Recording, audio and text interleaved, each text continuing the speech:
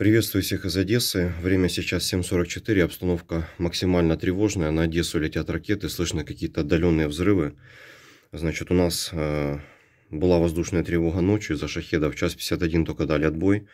И уже вот э, в 2.21 поступила информация о том, что отмечен взлет 8 бортов Ту-95 э, с аэродрома Оленья. И э, предупреждали о том, что вылет, скорее всего, боевой. В 5 часов утра уже поступила информация о том, что есть пуски ракет. 9 бортов Ту-95 и 9 бортов Ту-22М3 э, возле аэродрома Энгельс. И первые цели э, написали о том, что заходят с востока. Взрывы звучат на данный момент уже э, в Харькове, взрывы звучали в Киеве, взрывы звучали в Полтавской области, в Днепропетровской области. Вот сейчас 7.45 взрывы звучат у нас. Значит, э, в 6.15 сообщили о том, что состоялись спуски ракет с 11 бомбардировщиков Ту-95МС.